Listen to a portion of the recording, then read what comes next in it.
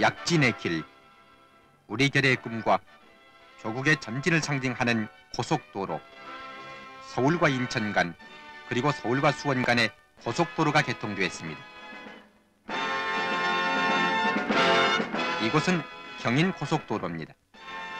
조국 근대화 작업의 지름길과도 같이 제2차 경제개발 5기능 계획과 경행해서 추진된 국토건설 종합계획 가운데에도 고속도로의 개설은 경제개발의 혁신적 계기를 마련하는 민족 번영의 거국적 사업입니다. 경인 고속도로의 개통은 앞으로 완공될 인천의 제2도쿠와 연결돼서 경인 간 수송에 큰 발전을 가져올 것은 물론 연변 도로의 새로운 개발이 촉진될 것입니다.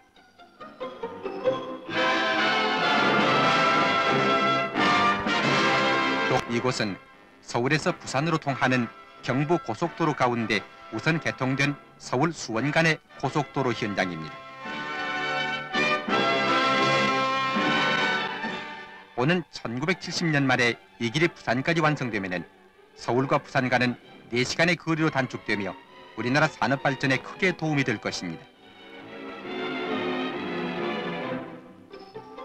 우리의 개척 정신을 상징하듯 이 민족의 길은 거침없이 틀어가고 있습니다.